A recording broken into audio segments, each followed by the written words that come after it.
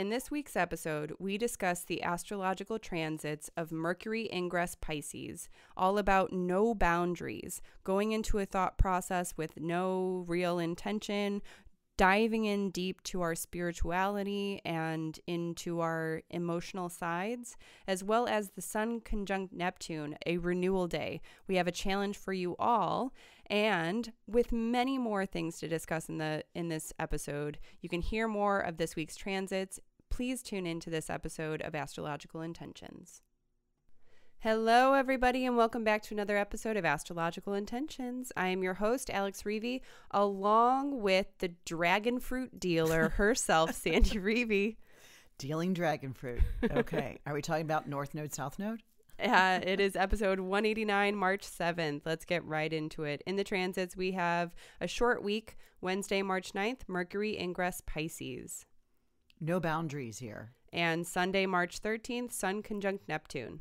A renewal day. And that's it for the, in the transits. In talisman time, Sandy has finished up three eh, to stand out in the crowd, to increase wealth, success, and good fortune, and to ad- achieve universal nature. Then upcoming, to adhere to a commitment and to nurture children. Then on the horizon, we have some events that we want to discuss with you, as well as in our house with the Ukrainian crisis on the rise. Sandy and I are going to discuss some ways to maintain some emotional well being, as well as supporting the Ukraine. Ukrainian people. So stay tuned for this episode of Astrological Intentions. And so you finally know you control where you go. Hello, dragon fruit dealer. I get it. I get it. I was buying some interesting fruit that I know you enjoy for your I birthday. Love, yeah, I love fruit. That is a fact about me.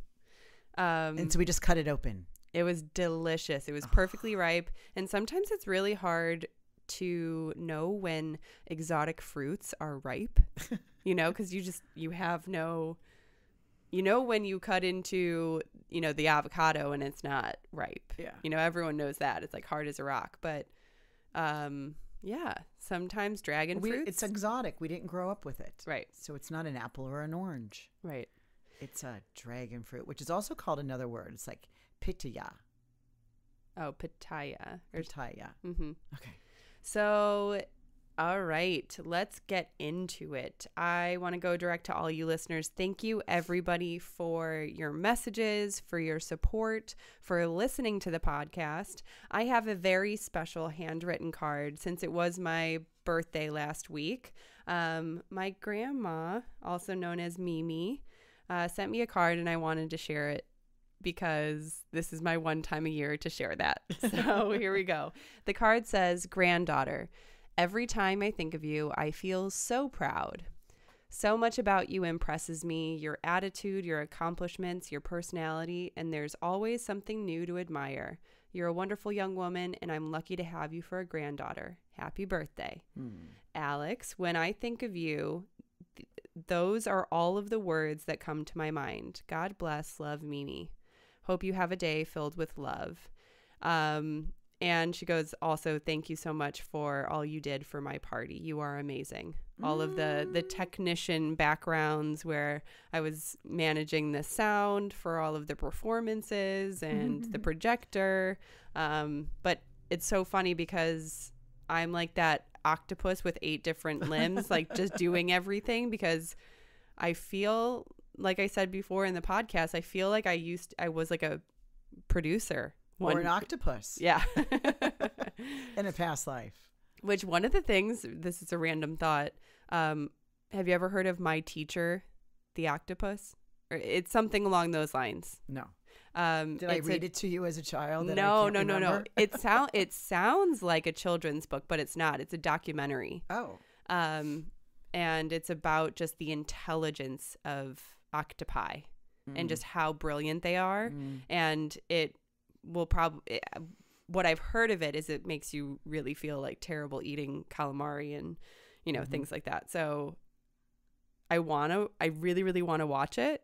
But at the same time, I'm a little bit hesitant. But anyway, so if anyone has watched it, let me know your thoughts. Should I watch it or shouldn't I? um, so let's get into the transits. We have a really, really light week. I don't know the last time we only had two transits to discuss.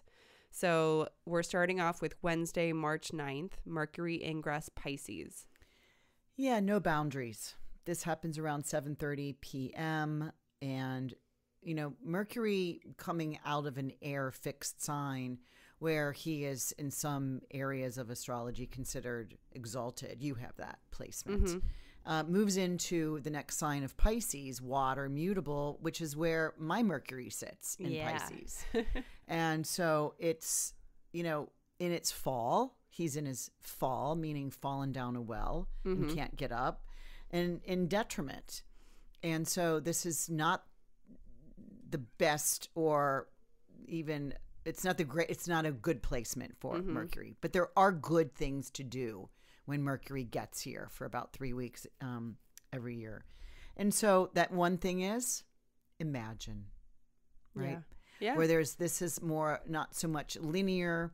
It's imagine uh, it will be easy now for the next three weeks. The imagine the creative sacred space. Imagine that you are fluid as an octopus Mm-hmm. and you are fluid um, and you are faith based right it's like the trusting that you are going in the right direction even though you can't you know it's kind of like when i was Right. It's not like something that's either structural or tangible that you're putting your faith in. It's something that's intangible that you can't see. it's out of the boundaries Mhm. right it it uh, i know and i don't know why i'm thinking about this right now but when i was younger and in swim class because my mom was adamant to get all of her four children i being the oldest into swim class and i had this long long long curly hair that i could sit on but it had to get up into a, um, a swim cap which was Oh, yeah. feet trying to get hair into this N- it, that's not the only trouble with swim caps. Swim caps are just impossible to get on. Period. Right. So with all this hair, but but what I was thinking of is at the we'd have to dive in and then swim to the opposite edge, Mm-hmm. right? Well, I'm, I was the only one that could not open my eyes in. I have class. that too, which is so funny because we're both Pisces. and swim, swim, swim, and I'm swimming and I'm barely can barely catch my breath, and I think I'm like any minute now I'm gonna feel with my arm, I'm gonna feel the end of the, and sure enough, I finally do. And I get to the edge and I put my arms up over it and I get clear my eyes and I look and I'm staring at everybody because I had just gone to a literally an angled right over to where I practically just started. Are you serious? Because that literally happened to me in high school. And I could never get down to the end because I could never make a straight shot. Neither could I, and be- it's because I couldn't open up my eyes underwater. I couldn't open my eyes. Um, but it just reminds me of, you know, it, it'll be good if you can just go into the trust that you're going, you know, swimming in the right direction. And maybe you're not going anywhere.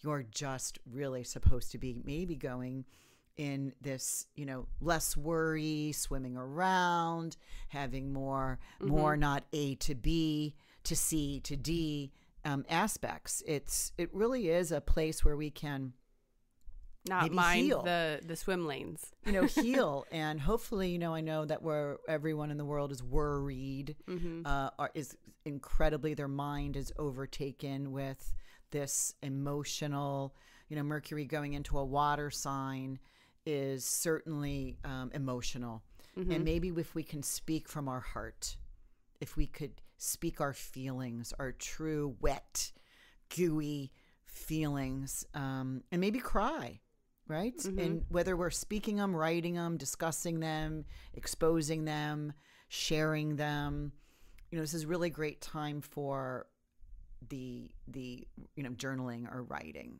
of, of of something if you're or actually reading you know reading if you could get into um, a novel. I know i will say that um, one of my big things this weekend is to lock back into outlander Yeah. so I get to go into this um, mercurial, dreamy wish. Although they're talking about uh, this season is coming up with the revolution, um, of which we're in again right now. right? Mhm. We're in that Pluto, um, conjunct Pluto to the United States birth chart.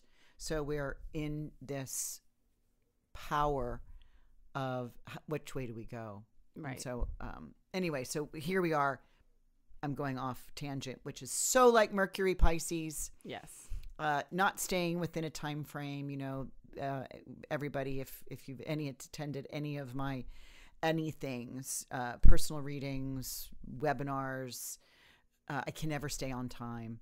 And Alex is always in the back of the room or somewhere in the room um, doing the okay, you're done with time Yep. Dance. Yep. So this is kind of what that is. It's it's you know when you can treat Mercury as a sacred place of maybe healing, Mm-hmm. of of peaceness, of of calmness, Yeah. that it will be good to you. Mm-hmm. And so, you know, And that's actually a really you said peaceness, peaceness. Which isn't that a word?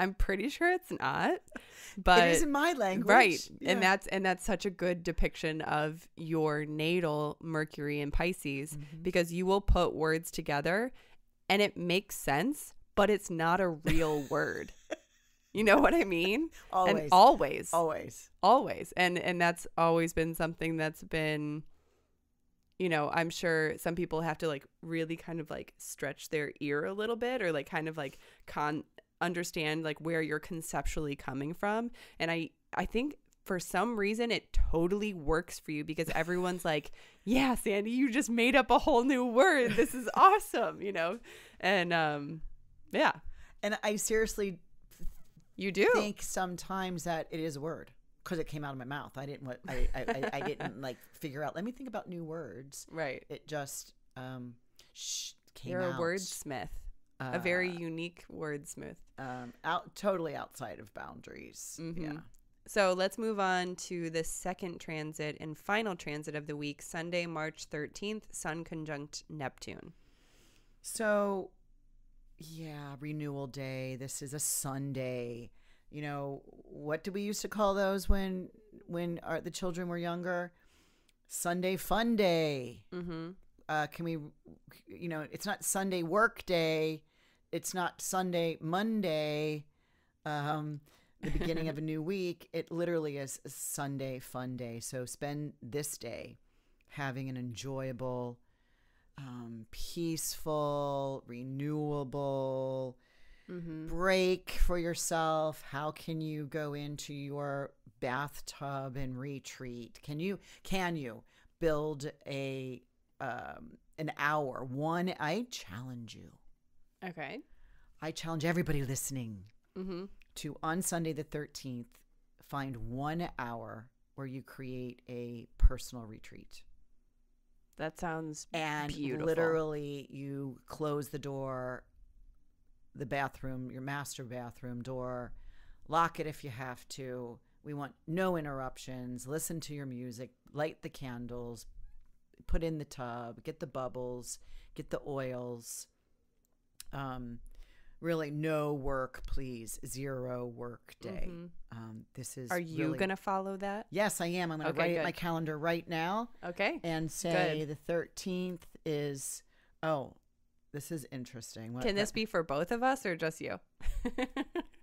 for both of us for Oh, all of us not at the Everyone same time gets- everybody gets their own bathrooms right this is bath day i'm gonna pick bath ritual day Perfect.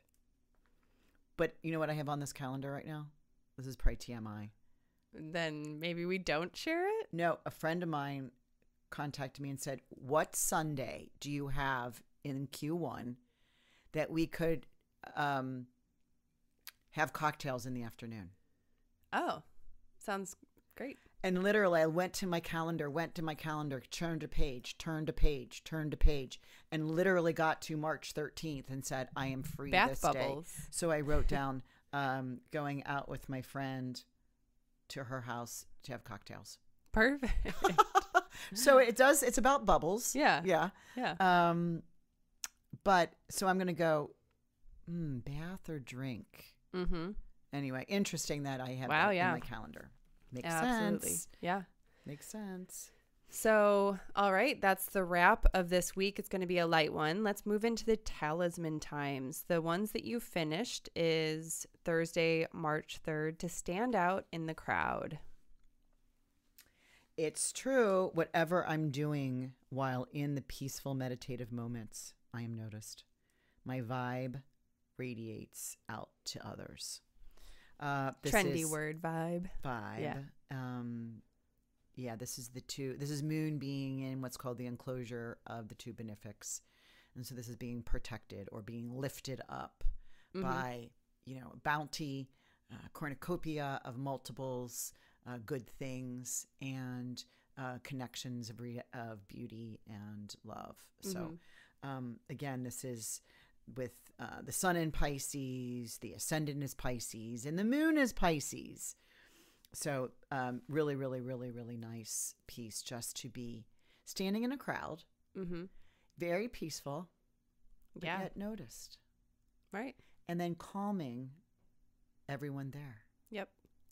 And again, that's that magnetism that I love so much. It's just like sending out the message. You don't have to beat everyone over the head about it, but just be there, be present, and be confident in that space. And I think that that is just one of the most alluring and attractive parts. So, Alluring. and that's a good word. Mhm. So, Saturday, March 5th, to increase wealth, success, and good fortune. oh, that's sold. Okay. And Sunday, March 6th, to achieve universal nature. I easily manage all energies coming toward me and releasing from me. Mhm. That's a good. How do you manage energies that release from you, right?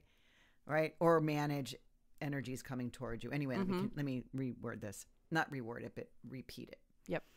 Um, reread the words is probably where I, what I was going to say. uh, I easily manage all energies coming toward me and releasing from me. I possess this warm, steady flame of all Taurian earthly gifts. I am full.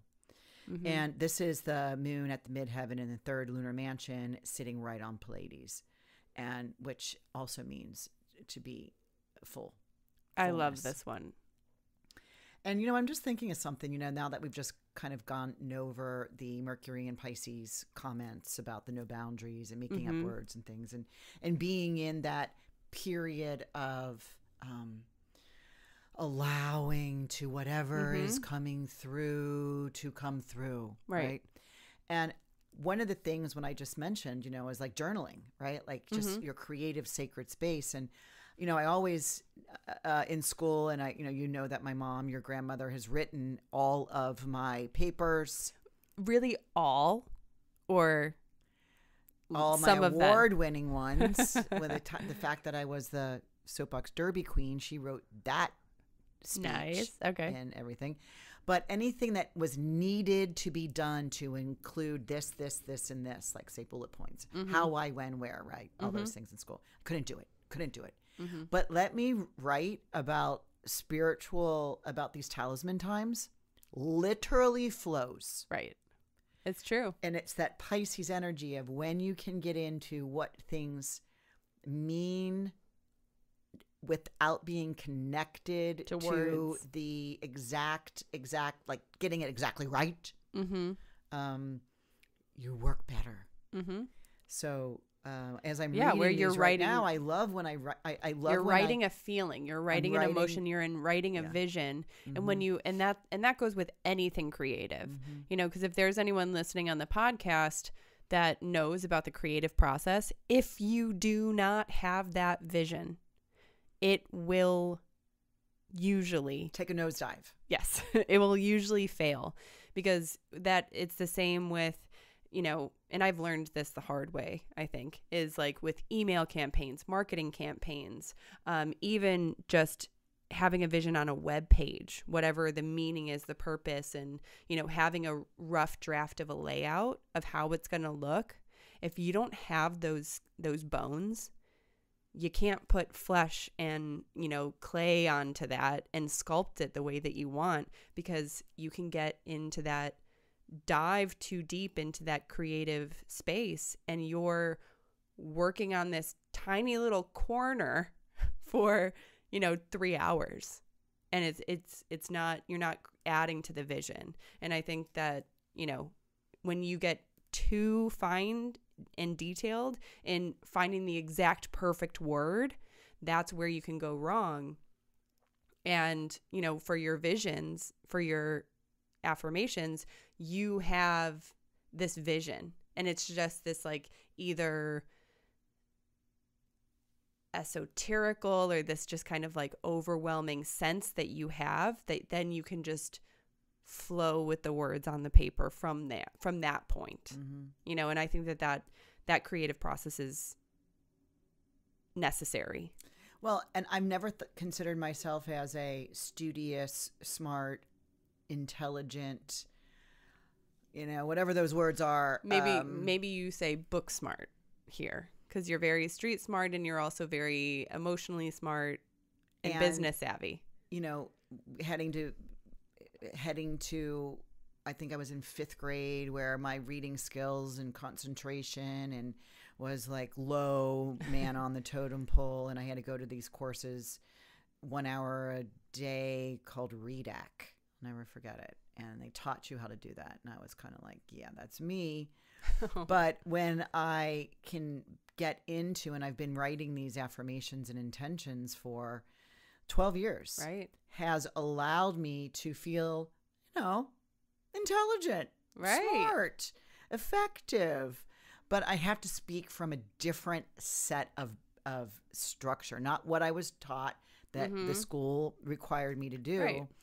um, but to kind of flow and you found your voice and found my voice. So Yeah. it's funny because right before we got on here, um, I got an email. I'm working with somebody in the personal intention bracelet um, field. You know, I do Mhm. those, and I get uh, and I we were working on intention, uh, the words and what the feeling was because we have to attach to the exact feeling mm-hmm. of what you want to achieve because it's not here yet. You can't identify it. There you can't hold on to it yet. Mhm. So you have to describe this goal, Right. Right? And then you got to say in real time what your subconscious needs to believe is true Mm-hmm. even though it's not right?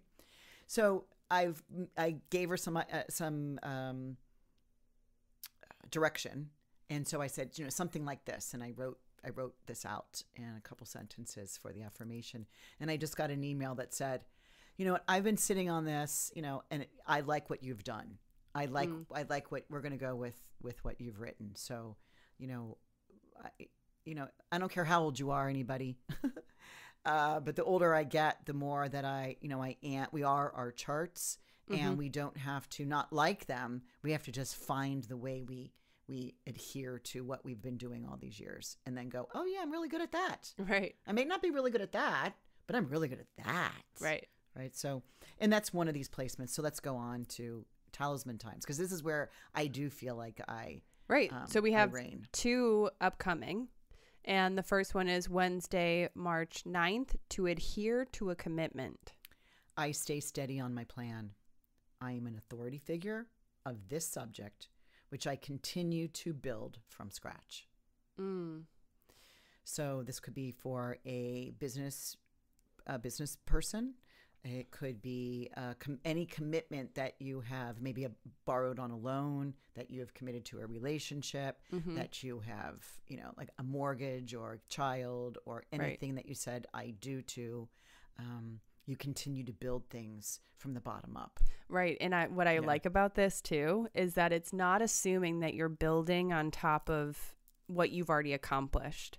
That sometimes you just need to start back from scratch. Mhm. And, you know, when it comes to relationships or, you know, like business, Mhm. you and and we were actually just um, talking to an old um, business owner friend of ours Mhm. in Evanston, and she was just like, you know, what's it like not having your studio anymore? And um, we were just discussing, you know, it takes it. You have to consistently start from scratch. You have to consistently reinvent Mhm. and be that's that's what it takes to be an entrepreneur. You Mhm. can't keep doing the same old same old. Mm-mm. And um and that is really true be- because you know I, I like to adhere to a commitment because you have to hit it from so many different angles sometimes Mm-hmm.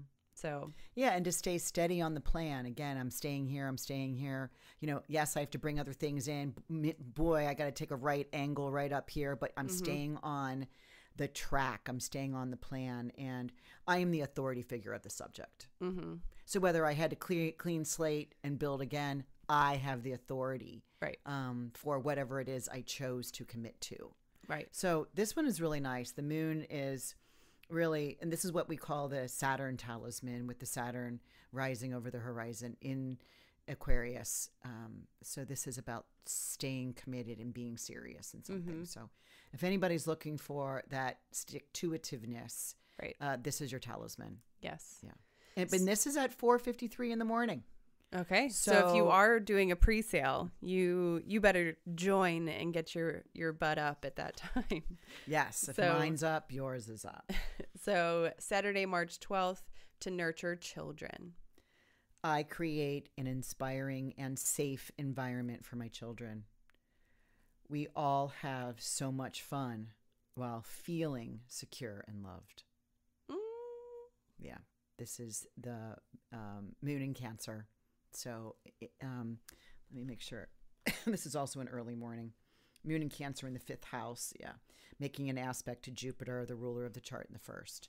So it's really about fun and games, fifth house, children, mhm. um, about self expression. Everybody gets to uh, um, contribute Mhm. um, at kind of uh, the same level.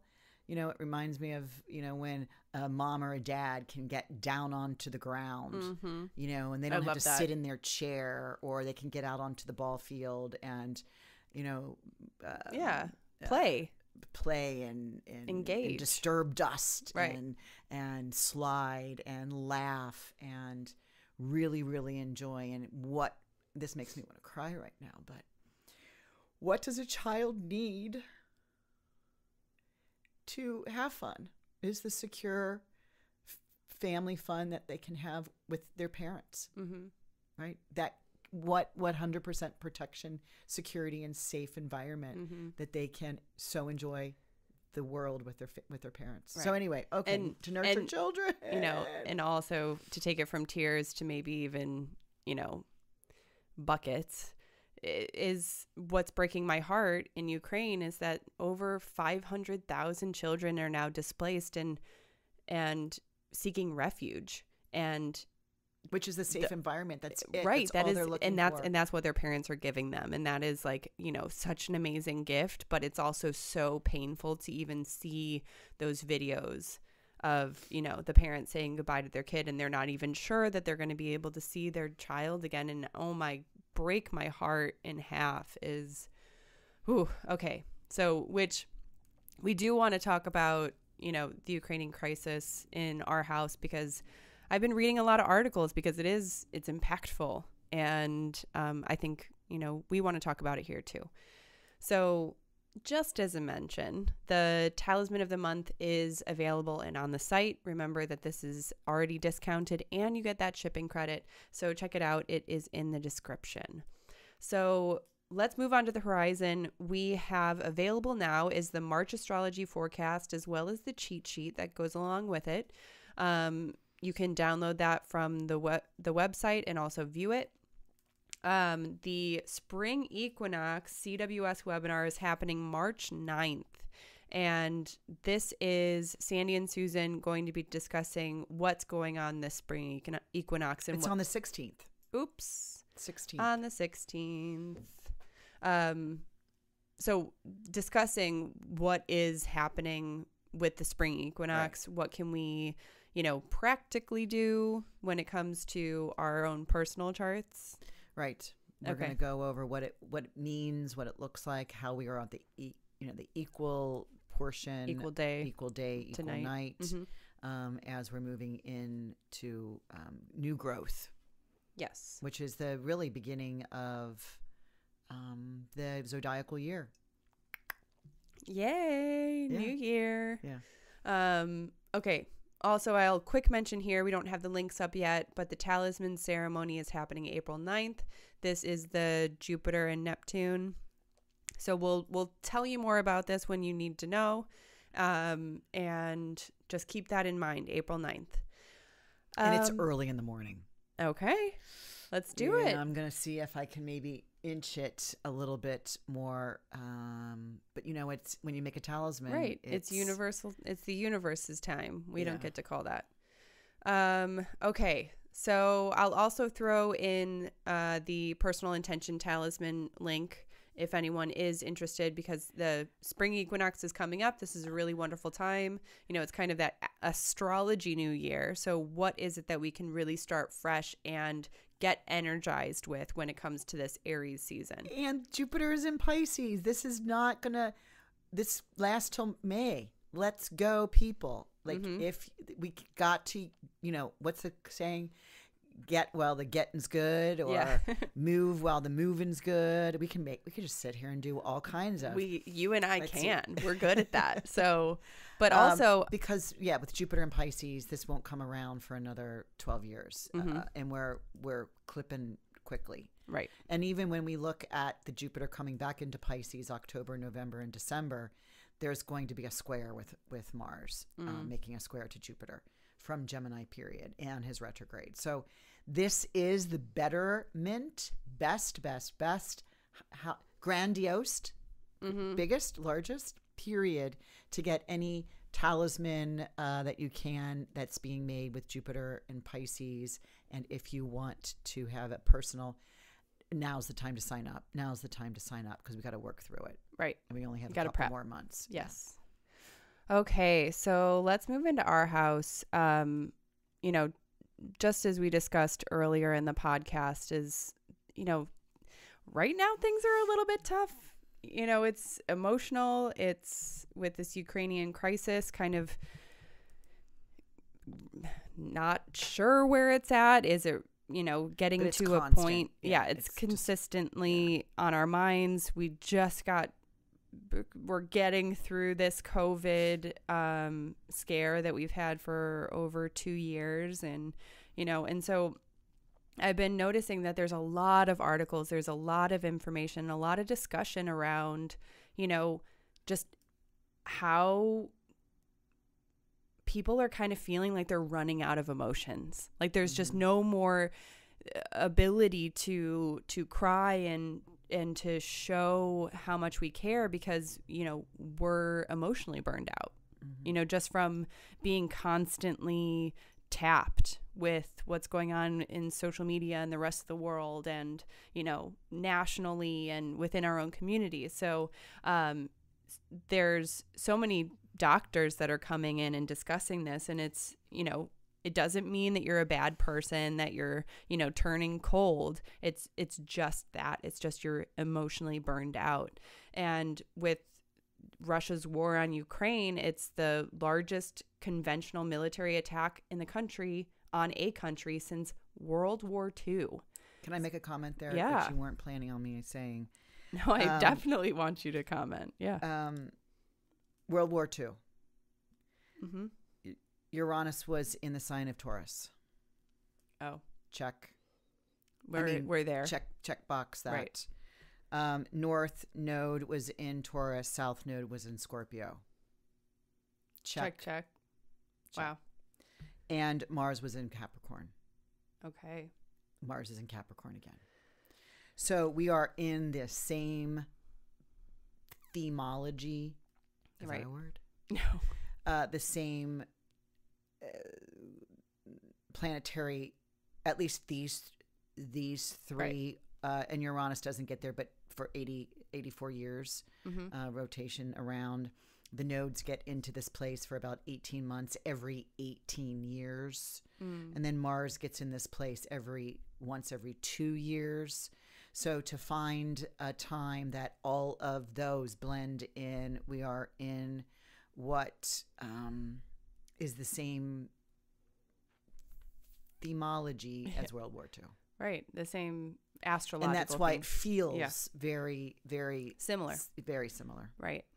And I mean, with all of this going on, it's like even if you if you know of people that are in Ukraine, if you have loved ones there who are trying to get to safety, I mean, it's a lot.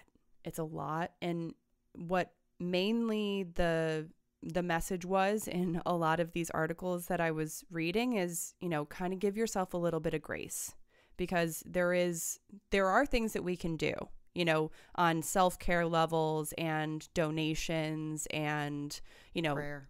and prayer. Right, raising frequencies. hmm Um, but also like, you know, and also get getting educated, you know. And so when I was reading a lot of these articles, I was learning a whole lot because also, you know, back in World War II, like I I read about it when I was in school and everything, but there's just also so much that's not communicated Mhm. in in Oh, yeah, those the instances. feeling senses.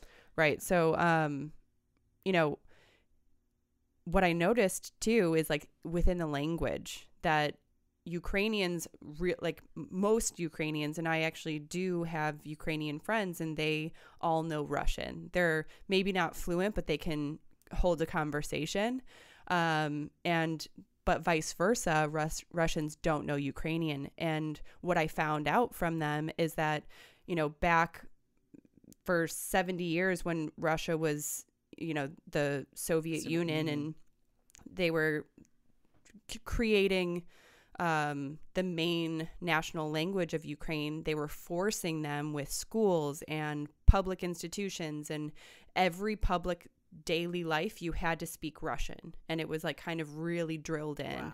But the coolest thing that is also so inspiring to me, and I think it's also so important to remember these facts, is that the Ukrainian people held on to their language for 70 years.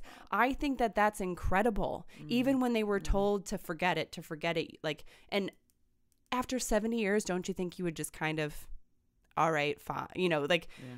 there a couple gener you know generations are kind of continuing continuing to roll out and it's i mean just to hold that in Yeah. And keep that so sacred Again, it's a The customs. commitment. and and and Yeah. i think that that is also a huge part of why this is um so impactful because with the Ukrainians fighting back and holding and you know everyone it doesn't matter who they are if they're uh n- heavyweight champion boxer or they're the Miss Ukraine um they're they're hold they're taking up arms. And some of my friends uh, I went to the Ukrainian march here in Chicago to you know support my friends me and my boyfriend's friends. Um and I was hearing I was hearing about their their grandparents who are still there saying you know what they're doing they're creating molotov cocktails. They're they're doing whatever they have in their power to protect themselves and to protect their country. And you see it. You see it in the news. You see it in just their their um their fight and their um their grit and their loyalty to their to their world because they kept all of their customs. They kept their ukrainian heritage and they held on to it so tight and even in this time of feeling like they're about to really really lose it and they're not feeling a whole lot of support from the rest of the world they're still fighting when they have when they have like nothing no um no real defense against what the russian washing militaries can Their their TVs. They're throwing out their four barriers. mm-hmm It's I mean, it's it's so. I mean, and and I think that that is such a great point to remember is that we can be really inspired by the strength and creativity that the Ukrainian people are are bringing up. You know, throwing their washers, dryers, refrigerators out into um, the streets to try and hinder the convoys. They're cutting down or removing the street signs so that the Russians, you know, can't necessarily communicate exactly where they are.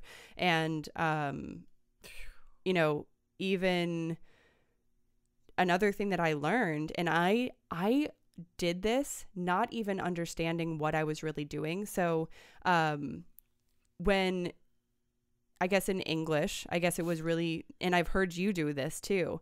It's it was normal to say the Ukraine. And I've I've caught myself doing that and I was kind of curious like why do I say the Ukraine? And when you when you think about it and when you really like dissect that, it's actually, you know, when we're saying, "Oh, I live in the Midwest." I don't live Mhm. in, you know. Yeah. So it it what it's doing is really just kind of like devaluing it, not as a country but more as a region. And so back when the USSR, you know, Ukraine started being its own sovereignty, they officially dropped the the Huh. from it. the and- THE. Right, because that was also inflicted, you know, by Russia and just to like kind of like deem it more as a region rather than, you know, its own Country. country. Yeah. And so um so now ever since 1991 now the government of Ukraine is re- you know requesting that the the be taken out Mhm. and um and it, it's just so interesting because I never knew that you know so all of these little tiny things and then all also these huge impactful things that the Ukrainian people are doing it just it just really shows what's the the micro and the macro and what's what's going on in the world right now. And I yeah How- I feel like I can feel my my blood boiling a little bit. I can feel like this, you know, excitement and also kind of anger and fear and just like kind of bubbling up. And I and I'm sure the listeners if you're, you know, still listening and you haven't muted me yet, um you feel the same thing when you're talking about this that uh, it's you feel It's like personally layer. it's a layer in your life right now. mhm COVID, like you said, COVID created a space of fear, and then here this got layered as COVID's fear and um, un, unknown and um, unsuredness of where where it will land and what it will Mhm. do and how, when will it leave. Um, all of this two year period is now got another layer of what does this mean for me right and we're we're on the other side of the world to of it Right. so you know and and and I I feel you know guilty of this too because I was learning so many things about these you know all these articles that I was reading and trying to stay up to date with what was going on that I also learned that there's a new term called like doom scrolling where you're kind of like very hyper aware of you know what's going on. And so like all of the headlines have these very triggering and scary mhm. words that they use so that you do click onto it and you're you're Mhm. reading it um, and it, there's um, one therapist has coined it as headline stress disorder Oh, where we're just like consistently like on edge and and you know just trying to get as much information as we can and trying to feel connected to what's going on you know around the world um and man it it is an it's an anxious type of feeling and so um you know and and a lot of places that i read is like you know what can you do when you're overwhelmed and you're feeling the anxiety of what's going on is you know reach out to friends and family and you know do what you can to discuss different things Mhm. or even if you do discuss with somebody else you're actually feeling that you know connection and support from someone but also you know support Ukraine in whatever way you can which is like you know donating donating to the U- Ukrainian Red Cross. There's another one called Save the Children for all of those you know children who are being displaced and you know sent off to safety. And um so but also you know take care of yourself take care of your mental health and know that you know doom scrolling and headline stress disorder is you know kind of creating rearing its ugly head right now and within the last few years. So, um, that's my little tea for today. And I know this is maybe not what people want to hear, but I felt the need that I wanted to share this and, mm-hmm. you know, discuss it and bring it up to, you know, maybe some practical terms of, you know, how we can at least view and structure this a little bit. Um, so thanks. Any comments? it's a big bite to try and get down and swallow and then having it digest. So I think, you know, it'll be interesting how we handle this when we're already burnt out. Mm-hmm. Um, this is a war. Yeah. And, and so, uh, you know, I, I did hear from one friend who is from there but does not live there any longer. And, you know, she said when they say they go to their basements, they don't have basements. They have a hole where they put you know like their bunker. Some of their they have a bunker, mm-hmm.